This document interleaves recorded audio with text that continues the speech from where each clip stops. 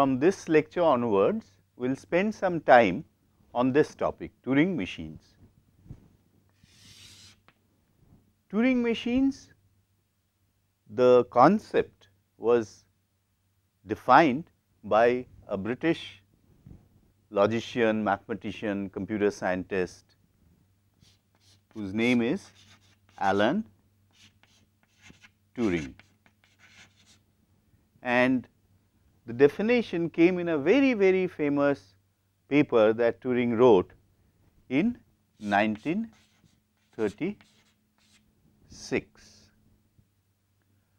Before we get into the details of what Turing machines are, how to you know define things with or work with Turing machines, we should have some uh, understanding, we should have some appreciation why did Turing define in 1936 what we now call Turing machines. Now, the real motivation is to capture the notion of computability.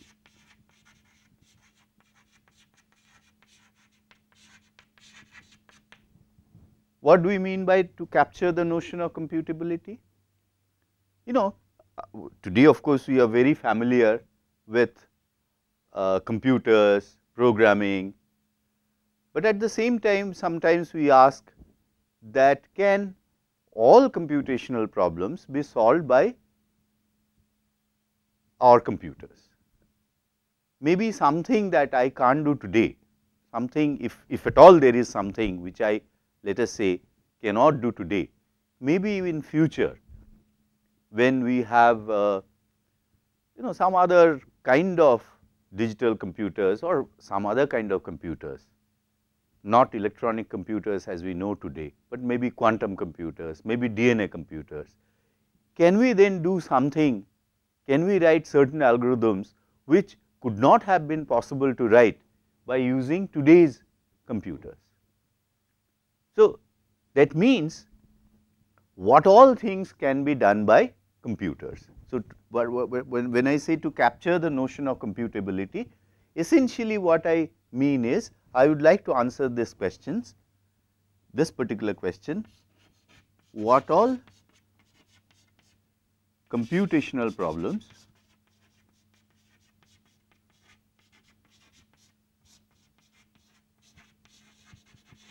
can be solved.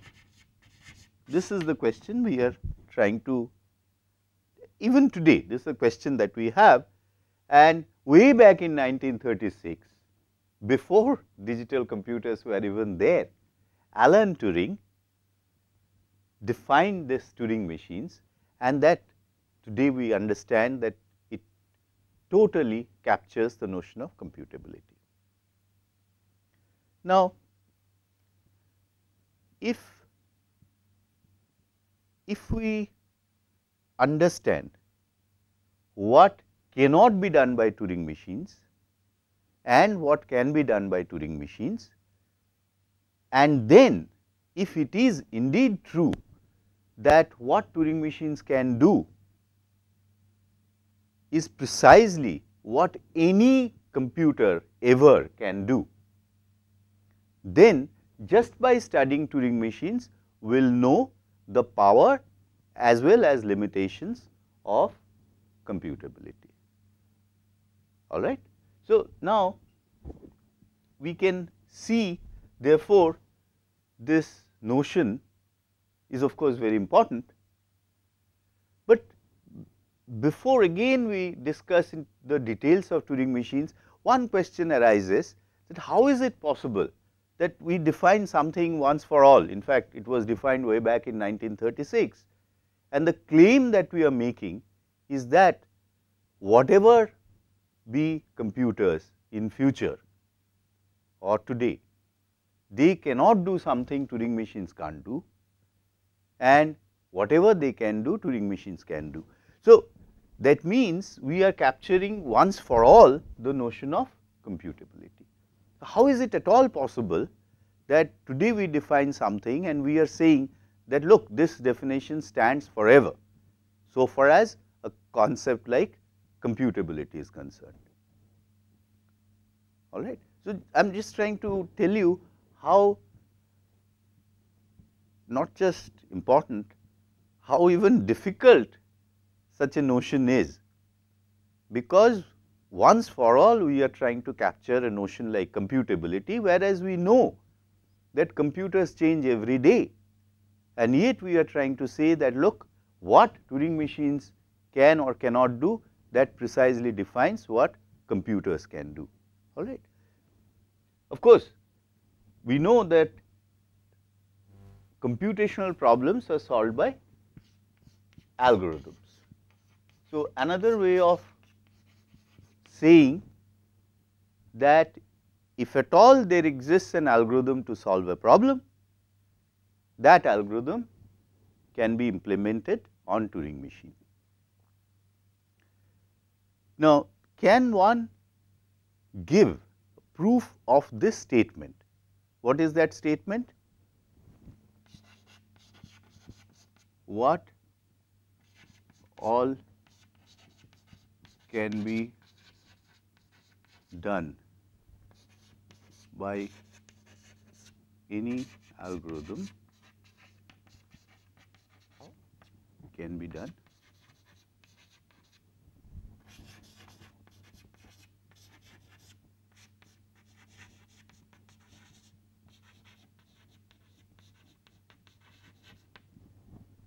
can be done by Turing machines. Now, if you if you notice supposing you say that I want a proof for the statement, what does it mean?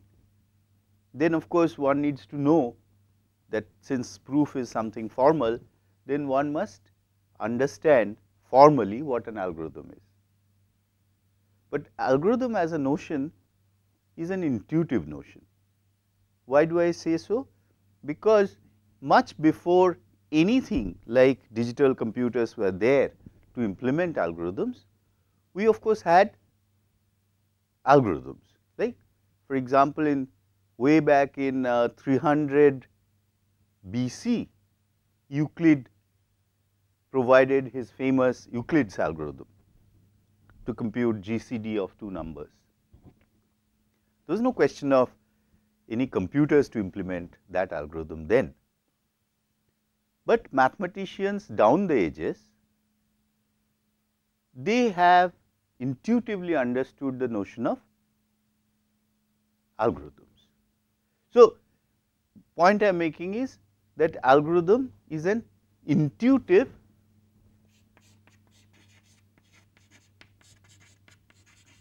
is an intuitive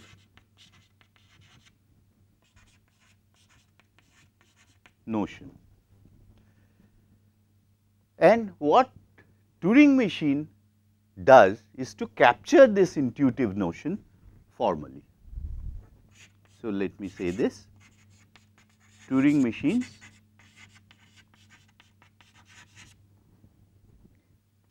captures formally this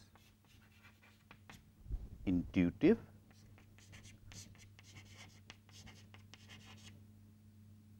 notion. Now, really speaking the, this statement cannot be proved because as we shall see Turing machine is of course is a formal concept in the sense that you can define it with great clarity. In fact, we will be making use of Turing machines to define many algorithms. But on the other hand, this intuitive notion of algorithms, as we said it is an intuitive notion. So, this kind of statement is saying that this formal notion captures this intuitive notion, right. So, really speaking we cannot have a proof for this. What we have is a thesis so, this thesis is called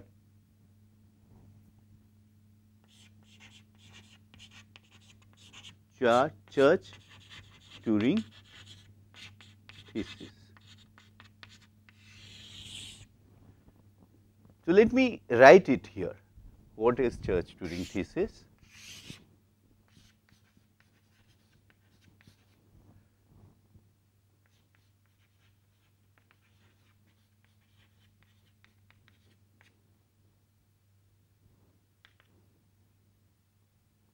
What can be done algorithmically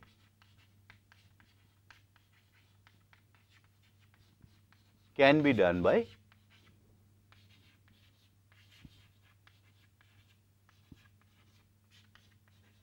Turing machines and vice versa. That is, other way is that what cannot be done by Turing machines cannot be done by any algorithm whatsoever. So, this is the so called Church Turing thesis and very briefly I will just tell you why people have faith in this thesis. It is because at around the same time at around 1936 there were many other not many other let us say 5 6 other people in different countries. For example, Turing himself was in UK, Church in USA, Post in USA, Gödel in Germany and uh, Markov in USSR, they all independently tried to define formally this notion of algorithm. That is, they were trying to say give a formal definition of what can be performed computationally. And they all actually gave came up with different models. Turing came up with Turing machines, Church came up with lambda calculus, Post came up with a certain re rewriting system, Gödel defined what is known as general recursive functions, Markov defined Markov processes, they all look very different and yet when it you know when people tried to look at all these things simultaneously they found that the class of problems which can be solved by Turing machines is precisely what can be done by lambda calculus, precisely what can be done by post system or Gödel's general recursive functions or by Markov. So, that gives us you know some kind of faith that this must be correct. And since then of course, there have been some attempts by mainly philosophers of science, logicians to very, very elaborately examine and very critically see that is it is this thesis correct in the sense that maybe that algorithms are more than what you know there are algorithms which could not be performed by Turing machines or vice versa. But you know all these attempts have shown that no indeed whatever you can think of to be reasonable definition of an algorithm you see that it can be performed by Turing machine. So, with this little background I would like into like to go into the details of what Turing machines are, how we make use of them. All right. Turing machines, let me let me draw a diagram.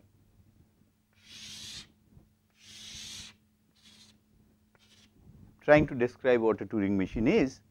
first of all what we have is a tape and we have all we are already familiar with the notion of a tape. For example, we have seen finite state machines the input would be on the tape as well as for push down automata the input would be on the tape. So, this is a tape that Turing machine uses, but there is a difference between the tape finite state machines use and Turing machines use.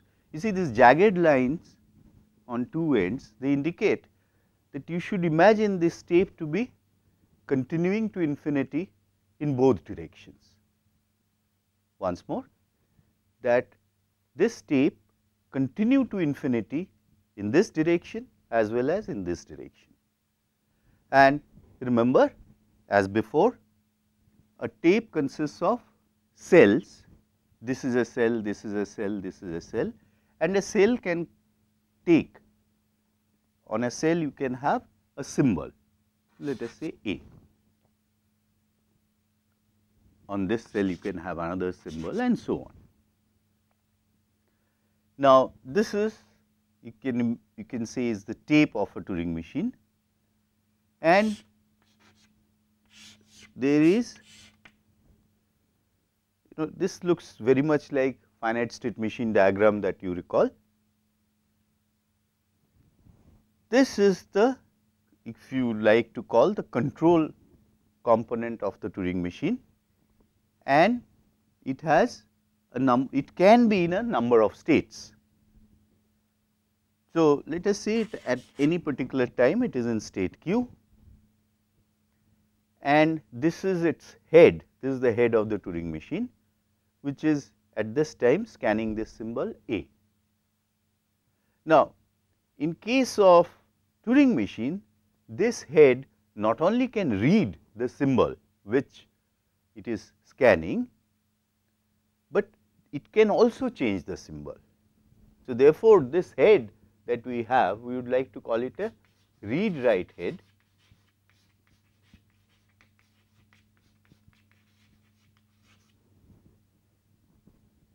Recall that finite state machines only had a head for reading a symbol from the tape, but Turing machines head reads the symbol and it can change that means it can write another symbol maybe the same symbol.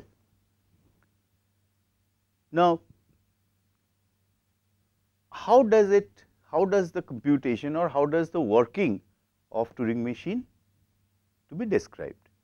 So, here to begin with let us say the machine is in some state q and scanning this symbol A. So, we can say present state is q symbol scanned in this case is A and now there will be a next state symbol written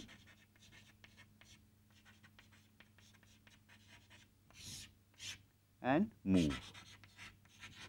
So, let me just write this first. So, suppose the present state is q and the symbol scanned is A, then suppose here we have P, here we have B and here we have R. So, you see there are 5 things Q, A, P, B, R. What we mean is that whenever this particular Turing machine is in state Q, scanning the symbol A, its next state is going to be P, right, and it will write the symbol B in place of A. So, the symbol A is overwritten by the symbol B and then this read write head will move right by exactly one cell. So, from here if this description is to be followed, the picture would be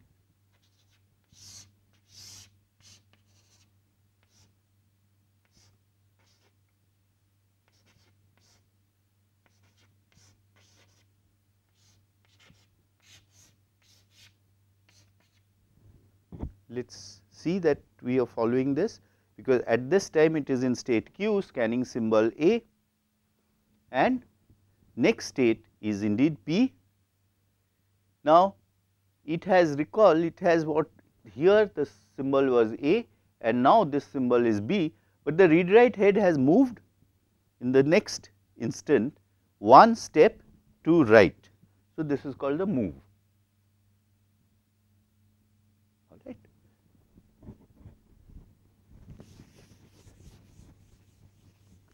Let us now be clear about what is happening. I will repeat that at any given time a Turing machine is in a certain state scanning a certain symbol on the tape and depending on the present state and the symbol that is being scanned at that time, it moves to a next state in the next time instant having overwritten the symbol that was there by this and the it will make a move only by one cell either to the left or to the right. In this case if this is the one it is following then the move is by one step to the right. Now, it is now you can see therefore, I can describe completely the dynamic behavior of a Turing machine by listing down these kinds of quintuplets. Okay. So, what a, let me say what is it? Why we, we, we call it a quintuplet? Because there are 5 things here present state, symbol scan, next state, symbol written and the direction of the move right. So, dynamic behavior of a you know I will keep writing this TM abbreviation for Turing machine dynamic behavior of a TM is specified by the quintuples that the TM has. So, remember different Turing machines can have the, the set of quintuples different but one particular Turing machine we associate a set of quintuples with that Turing machine and that will tell me if I am running that Turing machine what how, how will that Turing machine behave on a tape when something is written. So, by the way this set of quintuples for a particular Turing machine it is easy to see that this set is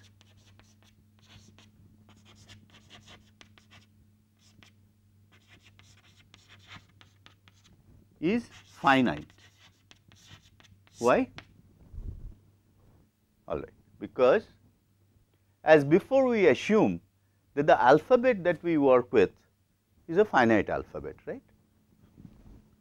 Sigma is the alphabet which is a finite set of course as before.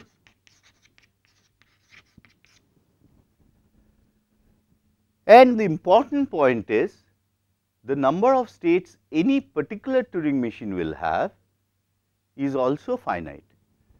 So, Q is the set of states which is also a finite set.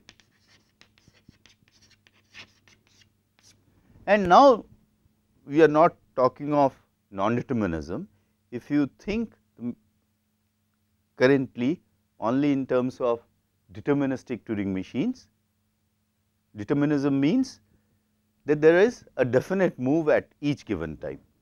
So, how many quintuples can be there if the a particular Turing machine has the set of states q and the alphabet it works on is sigma. Clearly, q cross sigma not what I mean is if there are 10 state 10 states the machine had and 5 symbols then the total number of quintuples would be what? At most 50. Why I say at most? I will come to that. Because maybe that on certain state and for a certain symbol uh, no quintuple is defined. So, in that case what happens? Supposing uh, we had a state P and a symbol B, but there was no quintuple with state present state P and symbols can B. So, let us write it suppose a Turing machine has state P and there is a symbol B such that there is no quintuple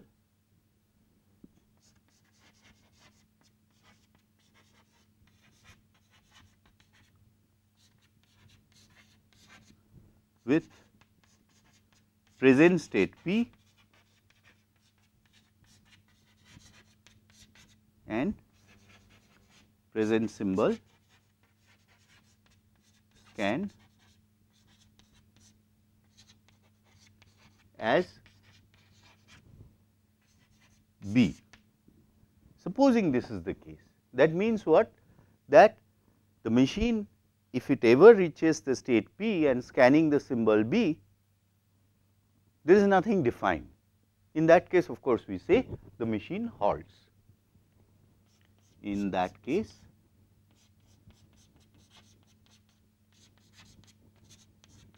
we say TM halts. Let us once more recapitulate whatever we are saying. Very briefly, a Turing machine will have a two-way infinite tape, the tape going to infinity in both directions. The tape is divided in cells, each cell can contain one symbol from a finite alphabet sigma. The machine can be at any given time in one particular state of a finite set of states which we are calling q. And what happens when the present state is q and the symbol being scanned is a is that some next state will be defined. What symbol to be overwritten in this place that will be also given. And the direction of the move.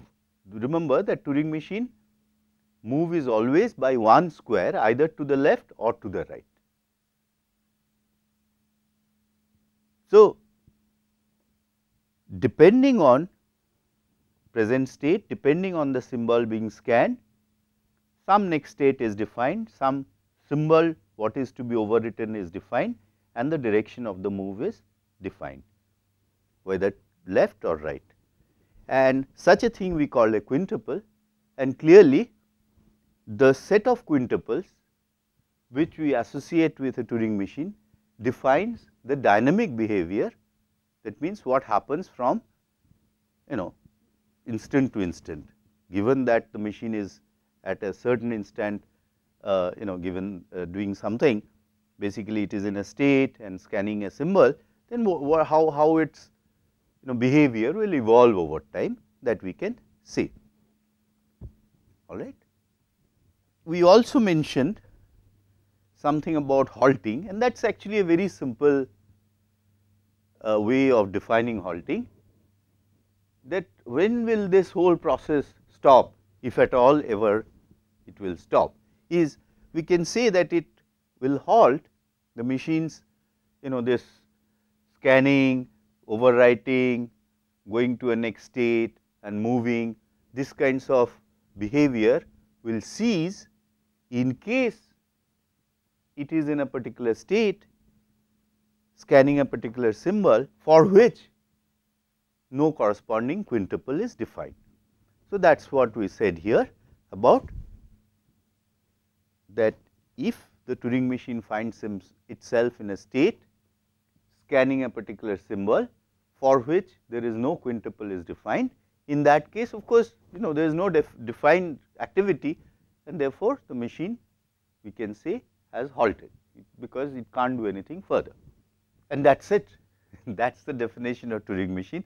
But you know we have to be a little more careful because we have said what happens from one instant to another, but how did this whole thing begin? In other words, initially what is the situation?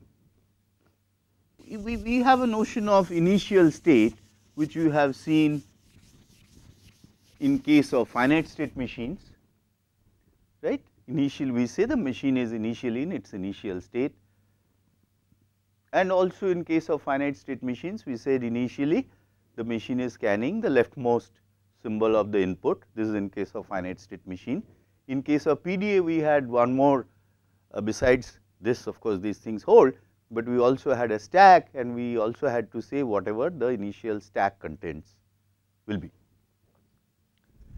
Now, all those things we need to specify to see what is the case with Turing machines initially. So, initially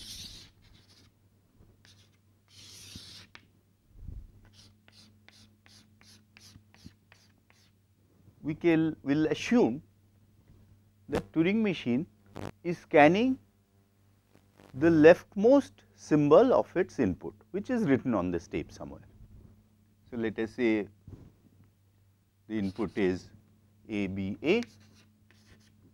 Initially the Turing machine is scanning this symbol in a state called which we, we are denoting as Q0. Basically this is the initial state of a particular Turing machine. So, initially at time 0 if you wish, the machine is in its initial state. So, initially Turing machine is in its initial state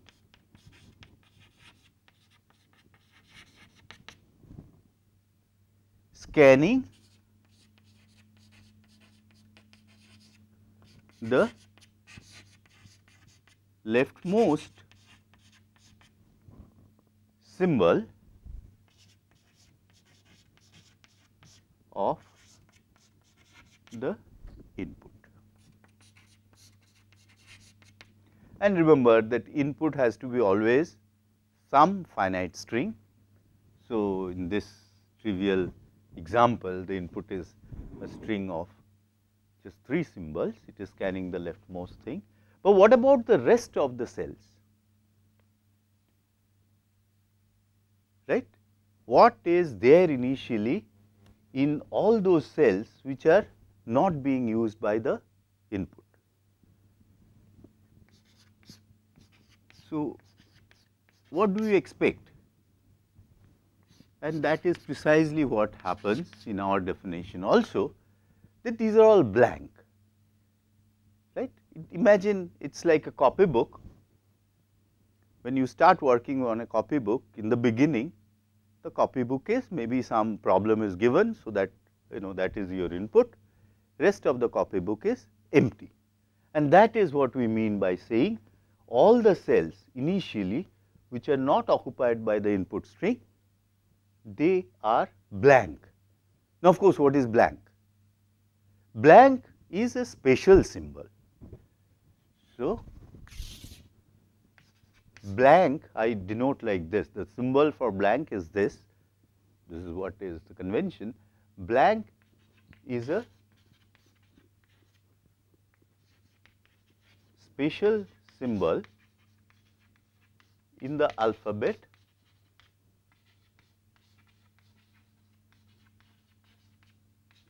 sigma. Why is it special? Because this blank symbol is what most of the input will have, right. Initially, the sorry the blank symbol is what most of the tape will have actually all the time, to begin with at least initially we can see the input is some finite string which is there the machine is scanning the leftmost symbol of the input and rest of the cells contain the special symbol called blank all right. So, now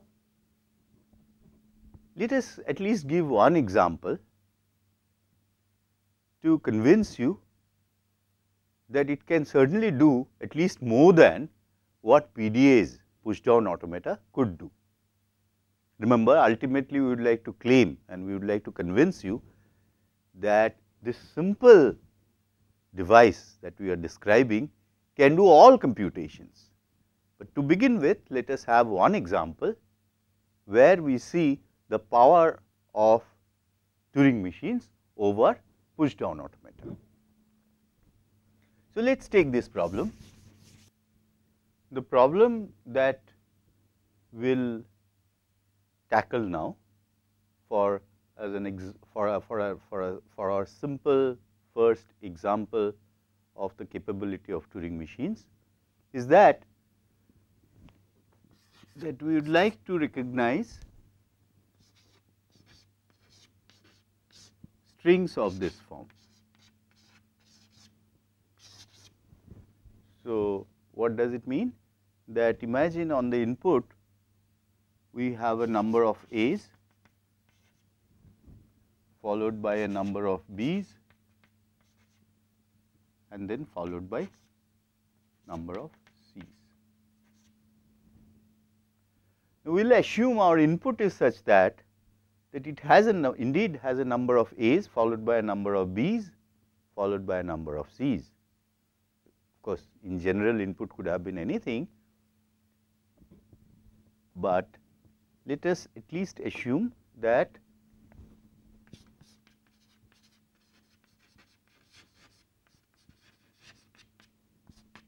input is of the form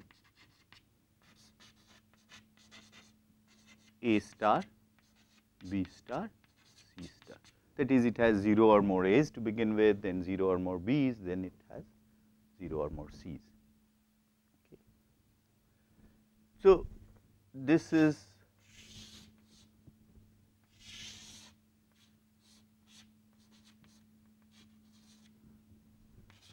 the tape of the Turing machine initially will look like this.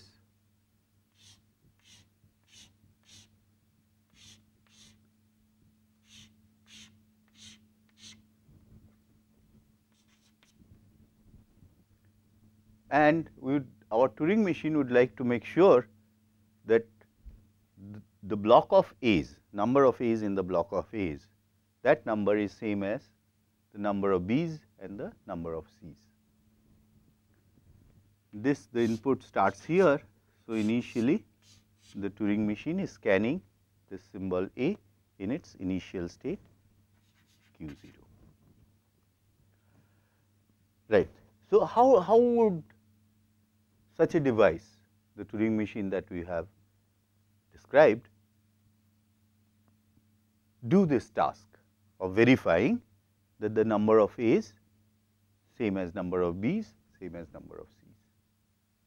One way of doing this, the strategy could be that see, so let us just see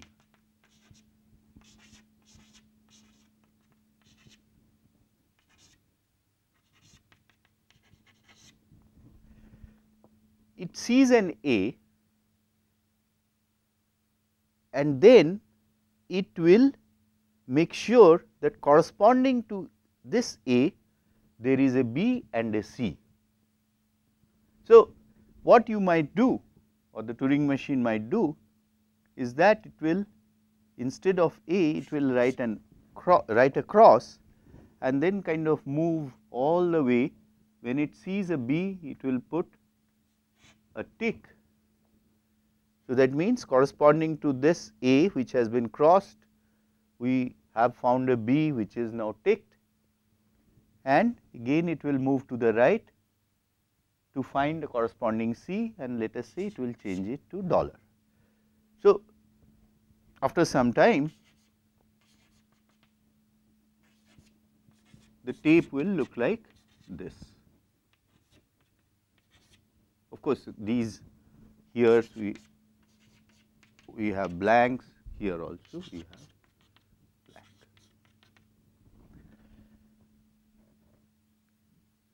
Right.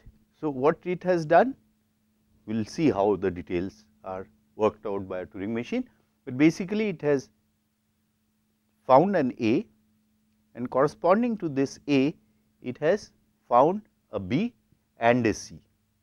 But of course, now it has to do for all other A's.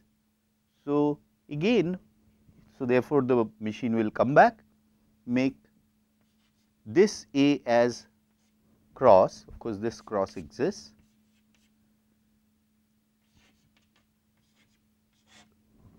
this remember this B has been already checked off because we took this B 2 corresponding to this A and therefore, will tick the next B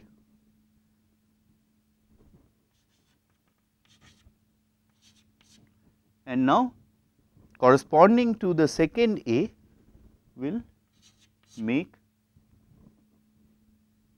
this dollar to come in place of this C. So, so for example, if you, you can see what is happening, this simple idea that the machine sees an A, it remembers that it has seen an A. So, therefore, it must find a B and a C to correspond to this A. Why does it put a cross? Because it needs to remember that yes, this A I have seen and I am now going to check off one B and one C. So, basically it put, puts a cross for the A that it wants to make sure that there will exist B and a C. So, corresponding to that A, the B that it finds, it will put a tick and the C that it finds, it will put a dollar and it will go on like this. So, let us at least before we get into more details, let us see that this can be at least this part that I am describing can indeed be done by the machine kind of machine that we have described. So, let us say as we said initially the machine is in state q 0 that is the its initial state. It is scanning this. So, let us recall this, this is present state and this is the symbol present symbol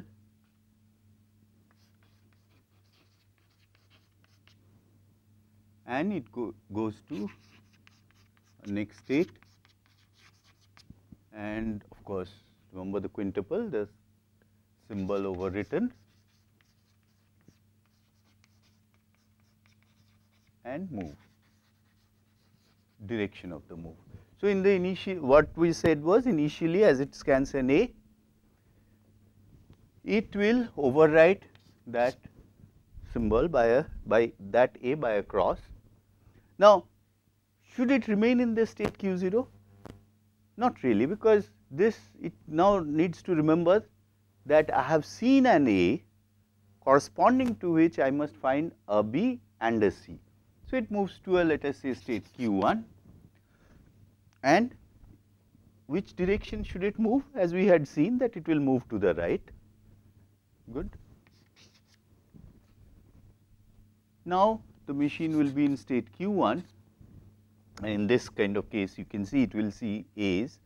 What should it do with A's? It should not change A's and it will remain in the same state q 1 and remember that A need not be changed of course, because what in state q1 what you are looking for is a b to corresponding to to correspond to the a which has been crossed. So, of course, it moves to the right.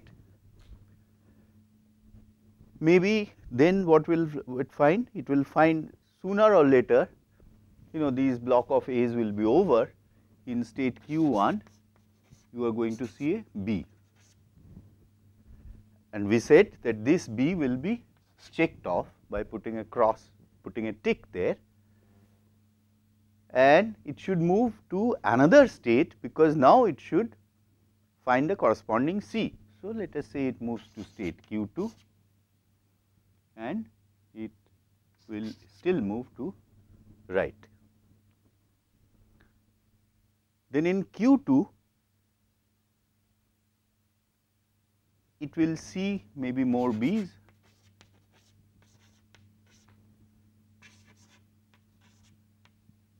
Should not change a state by seeing a B because in state Q2 what you are looking for is a C to correspond to the A which you have crossed. So, the B remains and it still moves to the right to find the first C or the C corresponding to the A that you have crossed. So, in Q 2 whenever he let us say now it sees a C and it should move to a state Q 3 by writing what should we do? What should it do? We have said for the C it will print a dollar and now what it should do? It should now start moving to the left because this job of checking that for a particular A there was a particular B and a particular C that job is done. So, now it moves to the left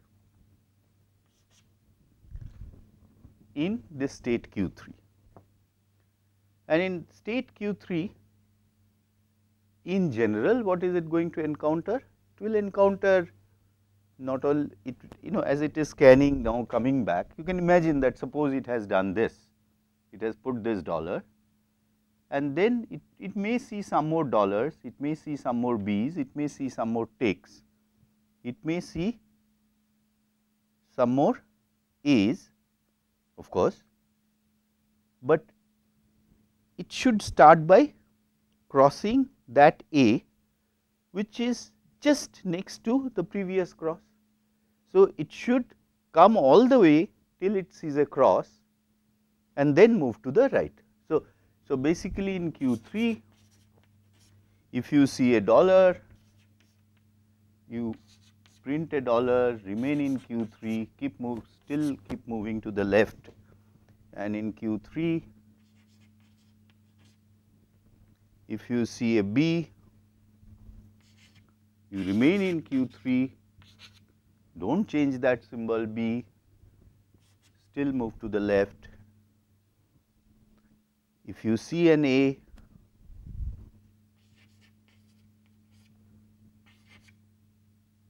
you remain in Q3, keep it A, still move to the left till you find a cross.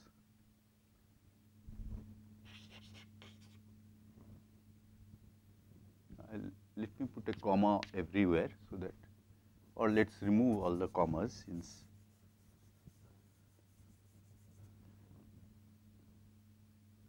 in Q3 now when you see an x of course that means you have found the rightmost A the last A that you have crossed off. So, of course, that cross remains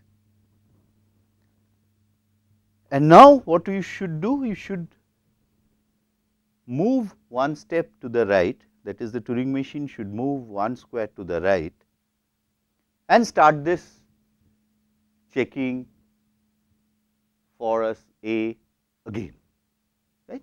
So, basically it moves to this state Q0.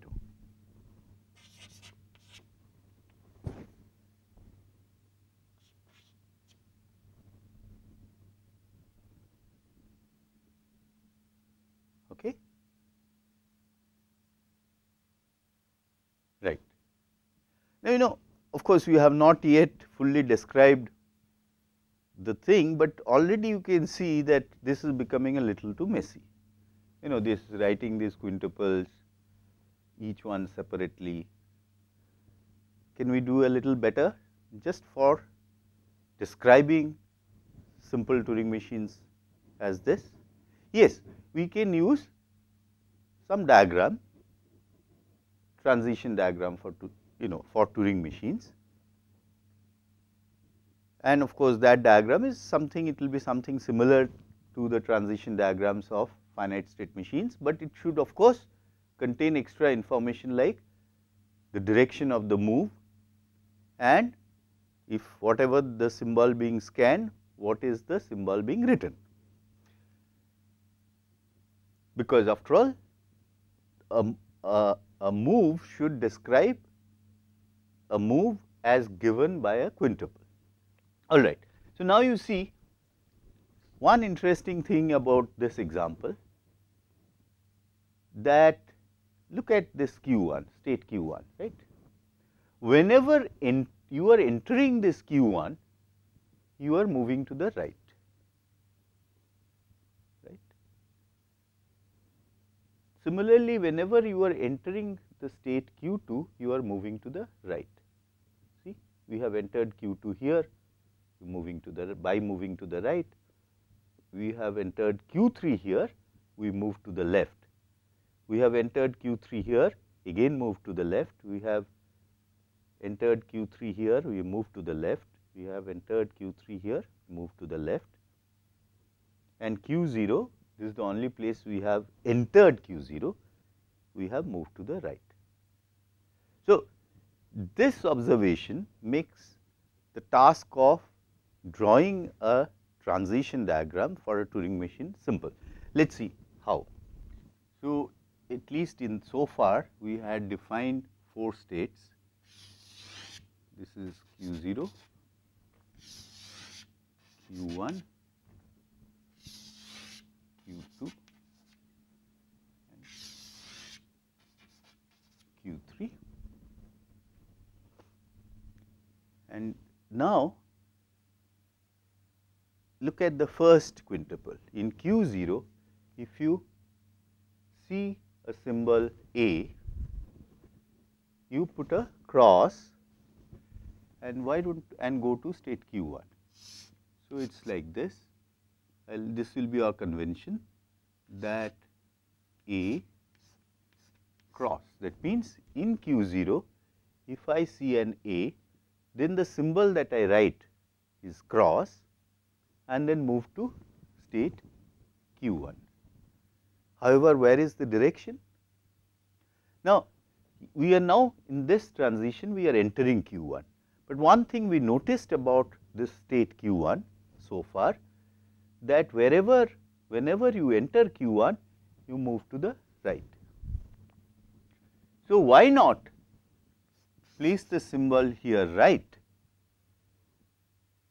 That means, now you see that all the 5 things of the quintuple they are described. If I am in state q 0 and seeing the symbol A, then I uh, write the symbol cross, go to this state by moving to the right. So, you are associating a direction with the state itself and the idea is whenever an arrow ends in that state, then that transition must be following the direction which is written inside this circle which represents R. Fine. So, let us go ahead and do this. In Q 1, if you see an A, what did you do? We again we move to the right by writing an A. So, essentially in Q 1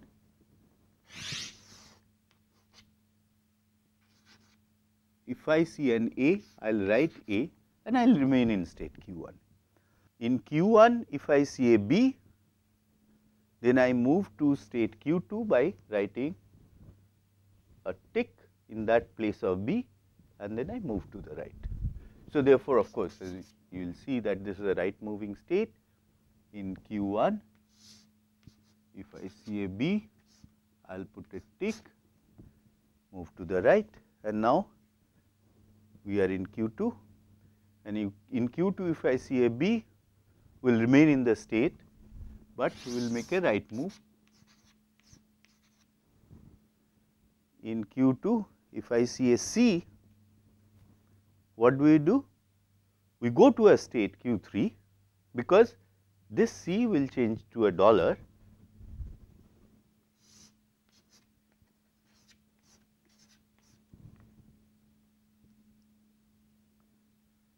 and in Q3 when we enter we have entered Q3 here in all these places we have entered Q3 and we move to the left. So, it, we can write the direction and in Q3 if you see uh, so let us go ahead in Q3 if I see a dollar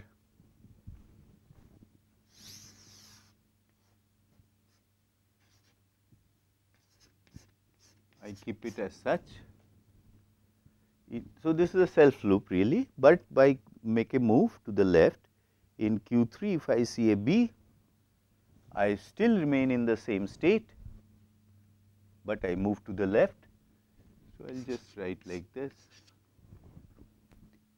In Q 3 if I see a A, still I remain in the same state Q 3 and keep the same symbol there. So, A is replaced or rewritten by A itself and there you move to the left and now in Q 3 if I see an x then what we do? We go to Q 0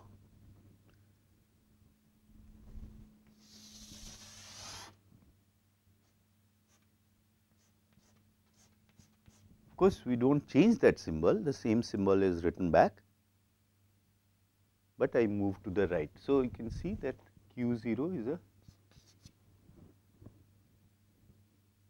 So, this diagram actually at least the iteration part of the uh, Turing machine is very clearly explained. So, let us let us just follow it once. So, the iteration is what iteration is that given an A, starting with an A, checking it off with a B and a C and then coming that is then coming back for the next one. So, let us let us just see here. So,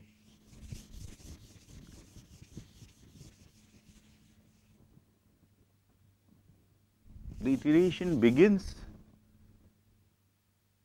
with the state q 0. So, in general maybe I had a number of crosses and then a block of A's, then a number of ticks actually equal number of ticks as you have put crosses, then some B's, then equal number of dollars, then some C's and then of course blank. So, we can now see this Turing machine working in iterations and this iteration is that take an A, make a cross and corresponding to this A find the leftmost B that you can find, make it. So, eh, this will become a cross this will become another tick, this B will become another tick corresponding to this C, you will make it a dollar, right. And then you should come back and position yourself at the end of the iteration to start the next iteration here. So,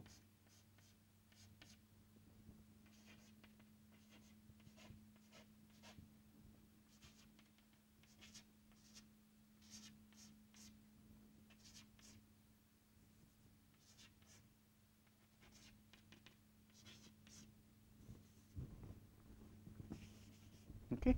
And at the end of the iteration you should be here. So, let us just see that is happening.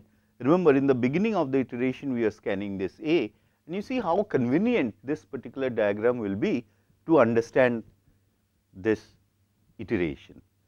So, remember that we the machine is here in state q 0 and it sees an A, therefore, it makes it an x which it has and now where will the machine be?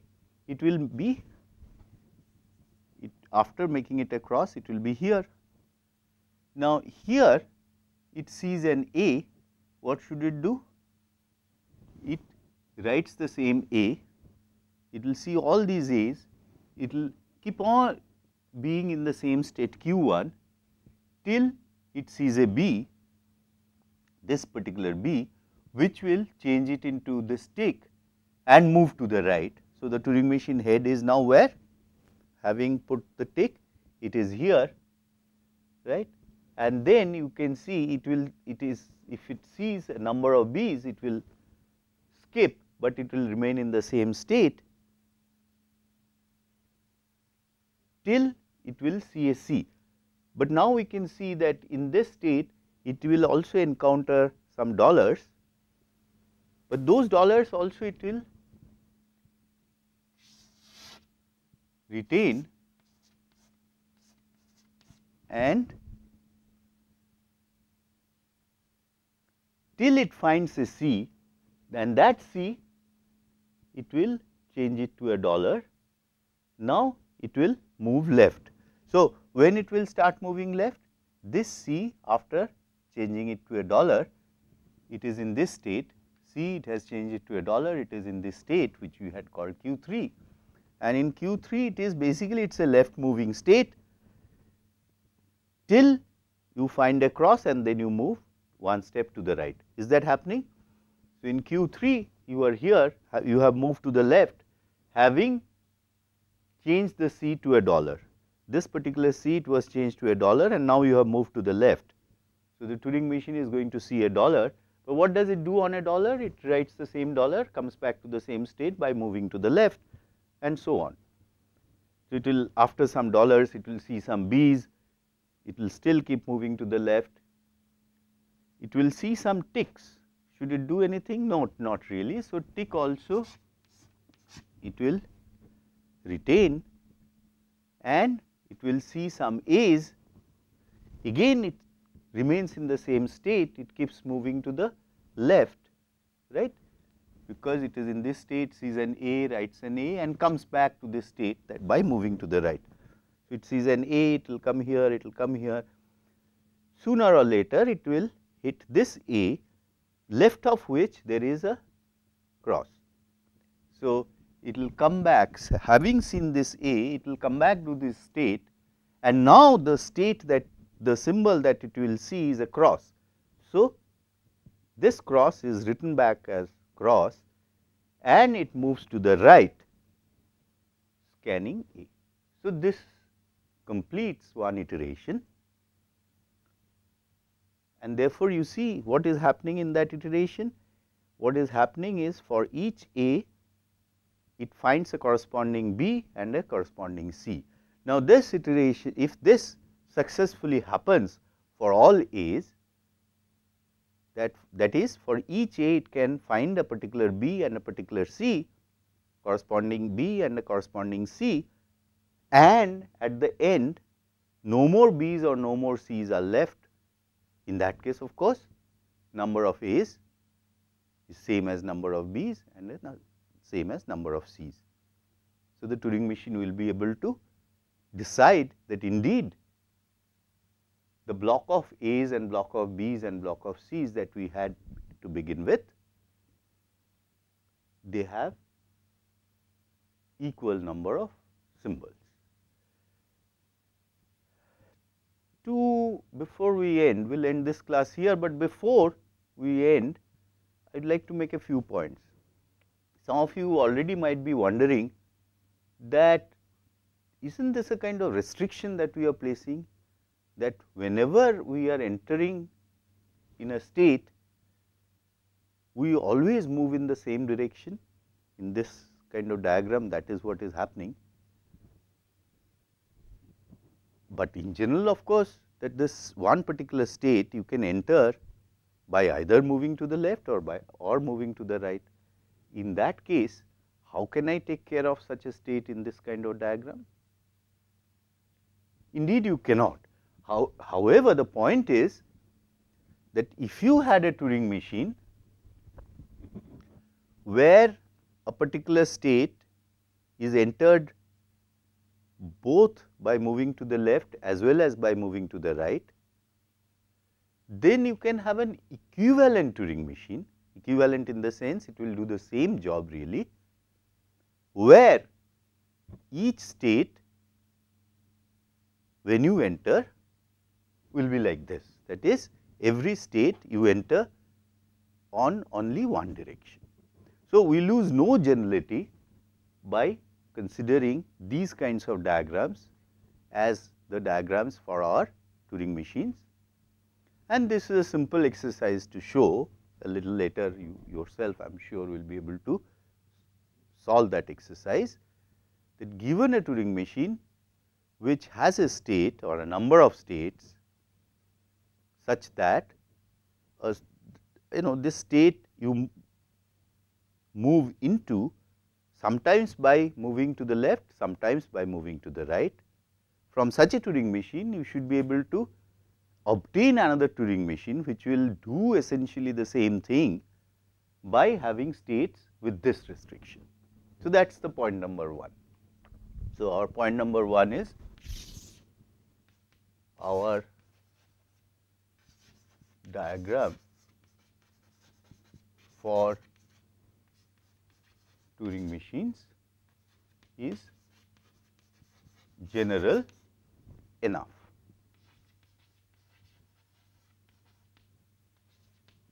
Second thing before we, we have not fully completed this example, but I think you are already convinced that indeed we should be able to recognize fully you know by uh, by by doing a few more additions etc about the limit cases that is what happens when you know we have not said when the halting is happening and all that in this diagram, but all that we can take care of.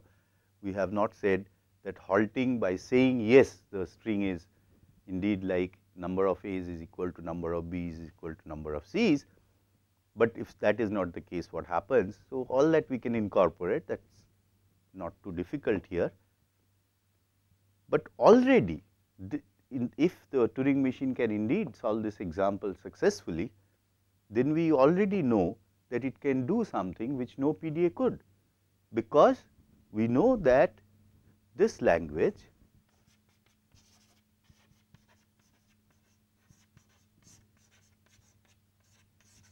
is not a CFL. So, therefore, at least right now you are getting to believe that Turing machines can do things more than what PDAs ever could. So, can it do everything that a PDA could? Yes, that is not too difficult, but right now let us not get into those uh, details before we kind of appreciate and we the, the definition of Turing machine, we are somewhat clear about working with Turing machines. And then as the course proceeds, I think you will be convinced that indeed Turing machines can code all algorithms. One more point before we end, remember that this is for example, one Turing machine as of now there may be some more states later on we will add, but right now it has a number of states, number of transitions. So, we get different Turing machines by of course having different or set of states, maybe symbols, maybe transitions. What we are finally interested in, what all things the class of Turing machines can perform.